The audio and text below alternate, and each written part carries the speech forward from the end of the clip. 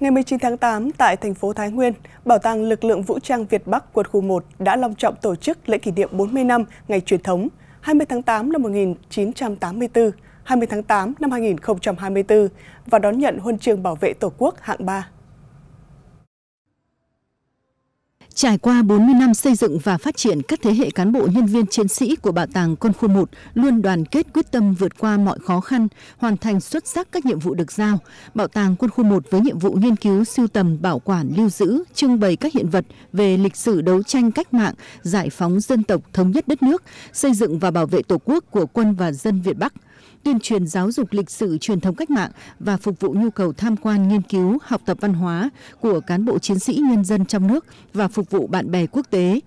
Hiện bảo tàng đang lưu giữ gần 10.000 hiện vật, hàng năm đón phục vụ hơn 30.000 lượt khách đến tham quan. Với truyền thống đó, Bảo tàng Quân khu 1 đã vinh dự đón nhận huân chương bảo vệ Tổ quốc hạng 3 của Chủ tịch nước Cộng hòa xã hội chủ nghĩa Việt Nam trao tặng. Ngày 19 tháng 8, tại thành phố Phúc Yên, tỉnh Vĩnh Phúc đã diễn ra Ngày hội Toàn dân bảo vệ an ninh Tổ quốc năm 2024.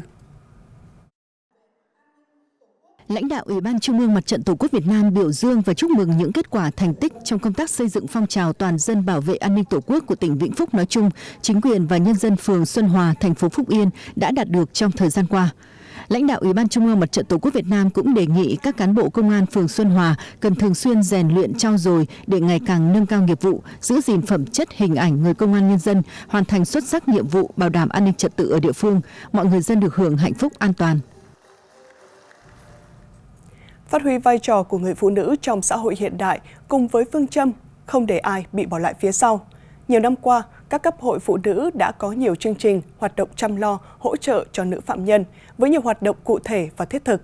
Nhằm chào mừng ngày Quốc khánh mùng 2 tháng 9, các ban ngành đoàn thể, Hội Liên hiệp Phụ nữ thành phố Hà Nội đã tích cực tuyên truyền, giáo dục và chăm sóc sức khỏe cho các nữ phạm nhân, khích lệ các chị nỗ lực cải tạo để sớm được đoàn tụ với gia đình, trở thành người lương thiện, có ích cho xã hội. Đây là chương trình truyền thông các chính sách của nhà nước hỗ trợ đối với người chấp hành xong án phạt tù và khám sức khỏe sinh sản năm 2024 cho nữ phạm nhân tại phân trại số 3 trại giam Thanh Xuân, do Hội Liên hiệp Phụ nữ thành phố Hà Nội phối hợp với Bệnh viện Phụ sản Hà Nội và trại giam Thanh Xuân tổ chức. Với cái mong muốn là không để bất kỳ một chị em phụ nữ nào bị bỏ lại phía sau thì chúng tôi cũng có những hoạt động rất là cụ thể với các chị em là nữ phạm nhân ấy. Thì ờ, trong cái thời gian tới bên cạnh việc là các hoạt động định kỳ chúng tôi ờ, tổ chức các hoạt động uh, truyền thông và khám sức khỏe sinh sản cũng như là có những cái tư vấn hỗ trợ cho các chị em để các chị em hiểu được về những cái chính sách hiện nay đảng và nhà nước rất là quan tâm đến cái đối tượng uh, khi mà các các chị em quay trở lại tái hòa nhập cộng đồng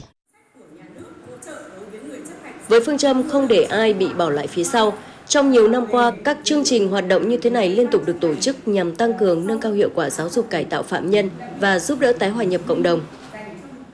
Chương trình mà ờ, về đây mà khám sức khỏe cho các chị là bản thân chúng tôi cũng như các chị phạm nhân là rất là phấn khởi. Rồi là tặng quà đấy, cho các phạm nhân, các chị cũng rất là phấn khởi. Ví dụ như mỗi lần về tặng được ờ, 30 xuất quà, đấy, ý nghĩa lắm. Các chị ấy ờ, cố gắng yên tâm tư tưởng, tích cực lao động học tập, Ờ,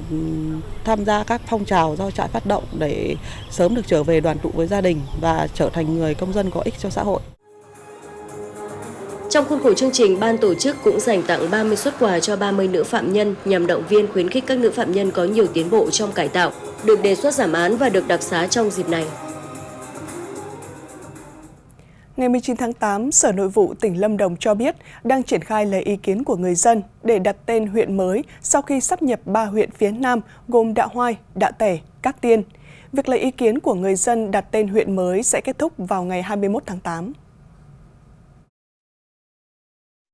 Có hai phương án để đặt tên cho huyện mới. Phương án thứ nhất lấy tên Đạ Oai. Lý do là vì đây là tên được đặt cho vùng đất phía nam tỉnh Lâm Đồng khi hình thành vào năm 1979, trước khi tách thành ba huyện như hiện nay vào năm 1986. Vì vậy, việc lấy tên Đạ Oai cho đơn vị hành chính mới thực chất là tái lập một huyện đã hình thành trước đây. Phương án thứ hai, đặt tên huyện mới là Đạ Tiên, thể hiện sự gắn kết của ba huyện hiện nay. Cụ thể, Đạ là tên đầu của hai huyện Đạ Oai và Đạ Tẻ và tên cuối là của huyện Cát Tiên. Nếu chọn phương án 1 sẽ giảm bớt khối lượng điều chỉnh các thông tin liên quan của hơn 44.000 người dân huyện Đạ Oai hiện nay như giấy khai sinh, căn cước công dân, giấy chứng nhận quyền sử dụng đất, giấy phép lái xe. Theo kế hoạch, việc sắp nhập sẽ được hoàn thành trong năm 2024. Thưa quý vị, 30 là thuật ngữ để chỉ các tàu cá không đăng ký, không giấy phép khai thác, không đăng kiểm. Hiện toàn tỉnh Quảng Nam có gần 1.200 tàu cá như vậy. Tỉnh đã chỉ đạo tất cả các cấp ngành vào cuộc và phải xử lý các tàu cá 30 trước ngày 31 tháng 8 năm 2024. Tuy nhiên hiện nay vẫn còn những thủ tục, quy trình đăng ký phức tạp cùng với sự vào cuộc chưa đồng bộ, khiến cho cả người dân và các địa phương đều đang vô cùng lúng túng khi giải quyết vấn đề này. Những ngày qua, Bộ Chỉ huy Bộ đội Biên phòng tỉnh Quảng Nam đã chỉ đạo các đồn biên phòng tuyến biển tổ chức chốt chặn ngăn chặn tàu cá 30 đi khai thác thủy hải sản. Đồng thời triển khai 3 trạm kiểm soát và tổ chức một tổ hai tàu chiến, 14 cán bộ tuần tra dọc tuyến ven biển để đấu tranh, ngăn chặn các hoạt động vi phạm về khai thác hải sản bất hợp pháp, không khai báo theo quy định. Chúng tôi tổ chức lực lượng kiểm tra kiểm soát chặt chẽ tại các trạm kiểm soát, vừa tuyên truyền hướng dẫn cho ngư dân phải làm các thủ tục đăng ký, đăng kiểm, giấy phép hành nghề, trang thiết bị để không vi phạm. Huyện Duy Xuyên là địa phương đầu tiên triển khai đăng ký, đăng kiểm, cấp phép đối với tàu cá 30. Tuy nhiên, khi triển khai có nhiều vướng mắc, bởi trước đây hầu hết các phương tiện được người dân mua bán nhưng không có giấy tờ, dẫn đến khó xác lập trong biên bản. Hơn nữa, việc triển khai thu lệ phí trước bạ có sự trồng chéo giữa các văn bản hướng dẫn. Bà công à, chúng tôi là xin à, yêu cầu tri à, cục phải giải quyết ờ, cố gắng giấy tờ còn sớm còn tốt cho anh em ờ, lô động ờ, trên biển để đi lô men. Theo thông tư 06 của Bộ Nông nghiệp về phát triển nông thôn, uh, theo đó thì bà con là kê khai tại các tờ khai đăng ký tàu cá và bà con chuyển nhượng về cái tài sản hợp pháp của mình. Ủy ban nhân cấp xã xác nhận cái việc ừ, là không có tranh chấp thì sau đó là bà con người dân thực hiện nghĩa vụ thuế tại cục thuế của huyện sau đó thì trở về ủy ban huyện Xiên để đăng ký và cấp phép Thực tế triển khai các thủ tục đăng ký, đăng kiểm, cấp phép đối với tàu cá 30 cho thấy còn nhiều vướng mắc khi triển khai, đặc biệt là thiếu sự vào cuộc đồng loạt của các cơ quan có thẩm quyền để đơn giản hóa các thủ tục.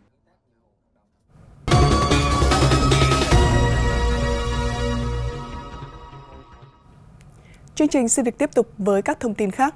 So với cùng kỳ năm 2023, số ca mắc sởi tăng hơn 8 lần, số ca mắc ho gà hơn 25 lần. Bộ Y tế có công văn gửi Ủy ban nhân dân các tỉnh thành phố trực thuộc trung ương về việc chủ động triển khai phòng chống dịch bệnh trong mùa tự trường. Bộ Y tế yêu cầu các địa phương chỉ đạo Sở Y tế chịu trách nhiệm theo dõi chặt chẽ diễn biến tình hình dịch bệnh, tăng cường giám sát, phát hiện sớm các trường hợp mắc bệnh, các ổ dịch, thực hiện cách ly và kịp thời xử lý triệt để ổ dịch, không để bùng phát dịch trong cộng đồng. Đồng thời, vận động các gia đình đưa trẻ em đi tiêm chủng vaccine đầy đủ, tổ chức tiêm bù, tiêm vét cho những đối tượng chưa được tiêm vaccine phòng bệnh, chưa tiêm đủ mũi, Sở Giáo dục và Đào tạo bảo đảm vệ sinh sạch sẽ, thông thoáng lớp học, đặc biệt theo dõi sức khỏe trẻ em, học sinh, phát hiện kịp thời những trường hợp có dấu hiệu nghi ngờ mắc bệnh để thông báo cho cơ sở y tế phối hợp xử lý. Hội nghị trí tuệ nhân tạo tạo sinh 2024 với chủ đề Chân trời mới diễn ra mới đây tại thành phố Hồ Chí Minh. Hội nghị được Bộ Kế hoạch và Đầu tư bảo trợ, đồng tổ chức bởi công ty New Turing Institute và Rethink Healthcare Foundation, phối hợp tổ chức cùng Trung tâm Đổi mới sáng tạo quốc gia và Đại học Fulbright nhằm mang tới những tiến bộ mới nhất về công nghệ trí tuệ nhân tạo tạo sinh, đặc biệt có sự tham gia trực tiếp của Giám đốc khoa học của Google.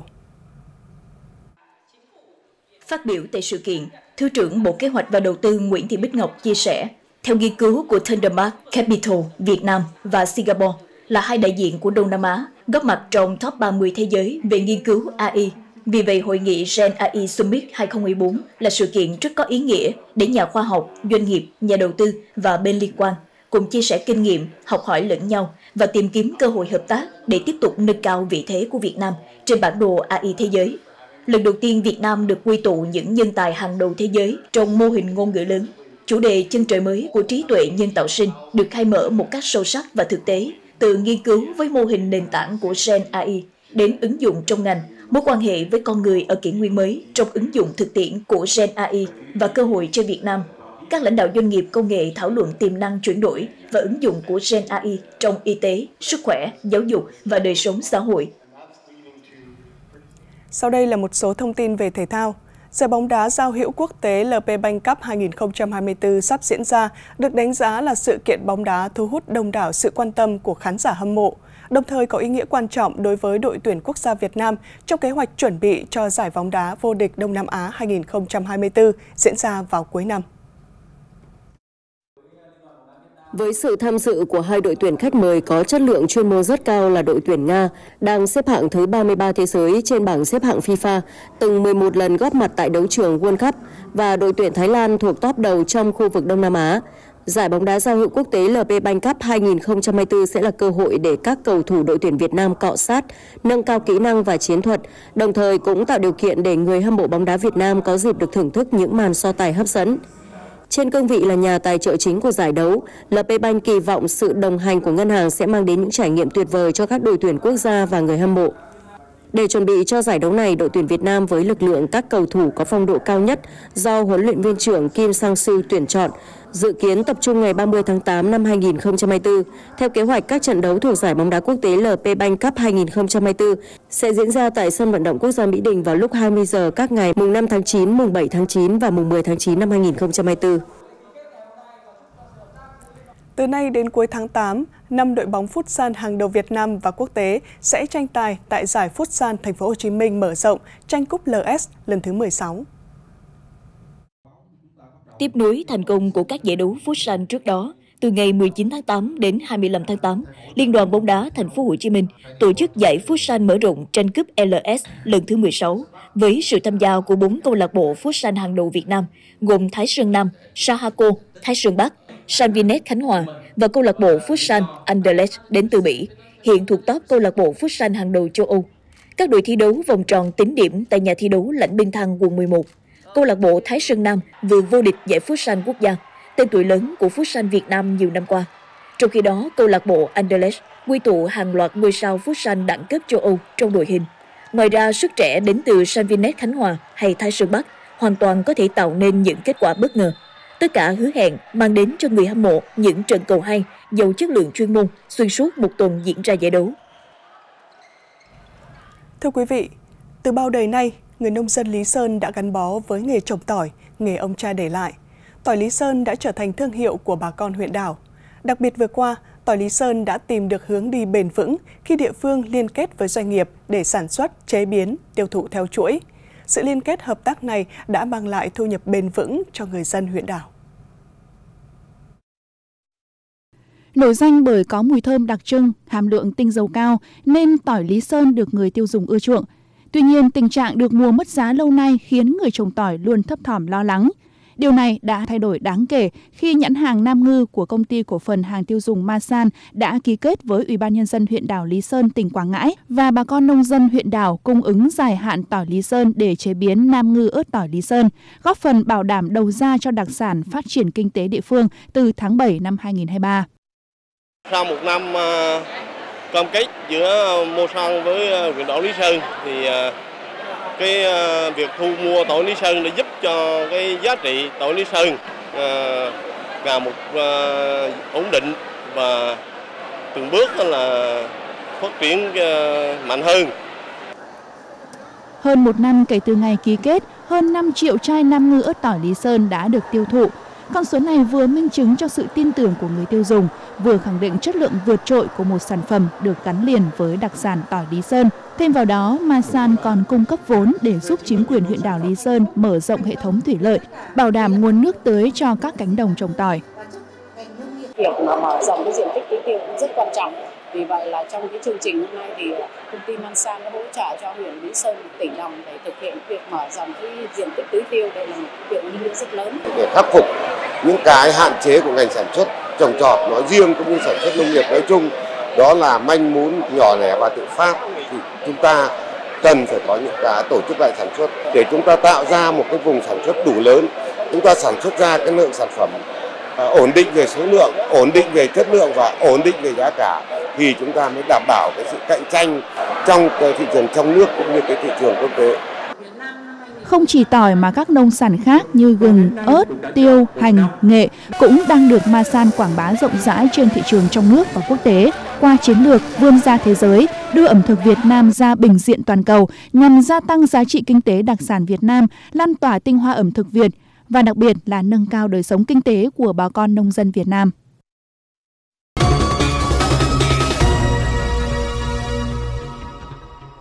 Bây giờ là những thông tin đáng chú ý trên các báo số ra hôm nay. Theo bài viết trên báo Nhân dân, nhiều năm qua, cùng với sự phát triển của hoạt động xuất nhập khẩu hàng hóa qua các cửa khẩu trên địa bàn, tỉnh Lạng Sơn đã kêu gọi các doanh nghiệp đầu tư cung ứng các dịch vụ logistics.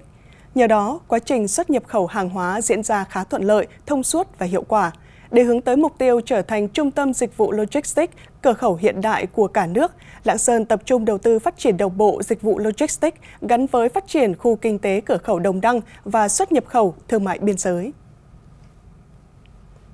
Từ ngày 19 đến ngày 22 tháng 8, phiên họp thứ 36 của Ủy ban Thường vụ Quốc hội sẽ cho ý kiến với 4 dự án luật, trong đó xem xét quyết định việc bổ sung dự án luật sửa đổi bổ sung một số điều của luật bảo hiểm y tế vào chương trình xây dựng luật pháp lệnh. Theo ghi nhận trên báo Lao động, việc sửa đổi bổ sung luật bảo hiểm y tế đang được nhiều người quan tâm, trong bối cảnh tình trạng thiếu vật tư vẫn kéo dài, chưa thể giải quyết triệt đề, khiến cho nhiều loại thuốc thuộc danh mục thanh toán của bảo hiểm y tế không có, buộc người bệnh phải bỏ tiền mua ra đổ tiền ra mua. Đại diện Bộ Y tế cho biết việc các cơ sở, địa phương chủ động xác định nhu cầu, dự trù, xây dựng kế hoạch đấu thầu mua sắm là yếu tố quan trọng nhất trong việc bảo đảm nguồn cung ứng thuốc, thiết bị y tế. Thị trường trái phiếu doanh nghiệp đang dần khởi sắc. Bài viết trên báo Sài Gòn Giải Phóng phân tích, điều này cho thấy niềm tin của nhà đầu tư tiếp tục được củng cố. Tuy nhiên, để thị trường phát triển bền vững, cần nhiều giải pháp tổng thể và đồng bộ. Còn ý kiến của các chuyên gia cho rằng muốn thu hút được nhà đầu tư, đặc biệt là nhà đầu tư tổ chức thì hạ tầng cứng, hạ tầng cứng như là chính sách, khung pháp lý minh bạch là quan trọng, nhưng hạ tầng mềm như là giao dịch trên sàn niêm yết xếp hạng tín nhiệm phải theo thông lệ quốc tế. Báo Kinh tế và Đô thị số ra hôm nay đăng tải bài viết nghịch lý trên thị trường bất động sản, tồn kho lớn nhưng giá bán tăng, phản ánh tình trạng trong khi nguồn cung mới tiếp tục thiếu hụt nhưng vẫn có một lượng lớn sản phẩm bất động sản tồn kho.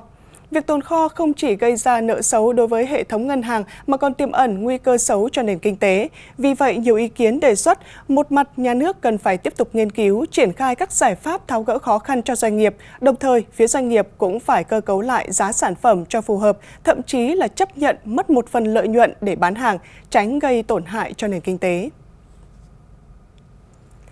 Theo bài viết trên báo Đại đoàn kết, hiện nay sản lượng lợn sản xuất trong nông hộ nhỏ lẻ giảm còn 35 đến 40%, sản lượng lợn sản xuất trong hộ chuyên nghiệp và trang trại chiếm 60 đến 65%. Tuy nhiên, tính chuyên nghiệp trong chăn nuôi của khu vực nông hộ, trang trại quy mô nhỏ và vừa chưa được cải thiện, giá thành sản xuất còn cao – một số ý kiến chuyên gia cho rằng để hướng đến xuất khẩu thì việc áp dụng chăn nuôi an toàn sinh học là yêu cầu hết sức cấp thiết cho chăn nuôi nói chung và chăn nuôi lợn nói riêng. Bên cạnh đó, cần tăng cường nghiên cứu, mở rộng thêm các thị trường ngách để gia tăng cơ hội xuất khẩu. Giá vé máy bay càng cận dịp nghỉ lễ mùng 2 tháng 9 càng cao, vé tàu nhiều chặng đã kín ghế từ sớm. Trong khi đó, theo ghi nhận trên báo giao thông, đường bộ đã sẵn sàng các phương án tăng cường phương tiện để hỗ trợ hàng không phục vụ tốt nhất nhu cầu của người dân trong dịp cao điểm. Tại khu vực phía Nam, lãnh đạo bến xe miền Đông mới cho biết, trong 6 ngày từ ngày 30 tháng 9 đến ngày 4 tháng 8, dự kiến bến phục vụ 2.340 chuyến với khoảng 36.300 khách, tăng 183% so với số chuyến so với năm ngoái. Đơn vị khuyến khích các doanh nghiệp vận tải không tăng giá cước trong thời gian này, nếu điều chỉnh tăng thì mức tăng không quá 40% so với ngày thường. Qua phản ánh của người dân, nếu trước kia các cuộc gọi quảng cáo tập trung vào giờ hành chính thì nay xuất hiện từ sớm, giữa trưa hay là qua 22 giờ vẫn gọi, gây phiền toái cho người nghe. Trong đó có không ít các số điện thoại định danh thương hiệu, brand name theo bài viết trên báo Tuổi Trẻ, các số điện thoại cố định và brand name đều phải được đăng ký đầy đủ thông tin, địa chỉ rõ ràng và chi tiết với nhà mạng. Việc truy ngược từ một số điện thoại ra người chịu trách nhiệm sử dụng số điện thoại đó hoàn toàn nằm trong tầm tay của nhà mạng. Tuy nhiên, tốc độ xử lý vi phạm của các số điện thoại nêu trên tùy thuộc vào sự quyết liệt của cơ quan chức năng, nhà mạng và cả sự hợp tác cung cấp bằng chứng từ phía người dùng.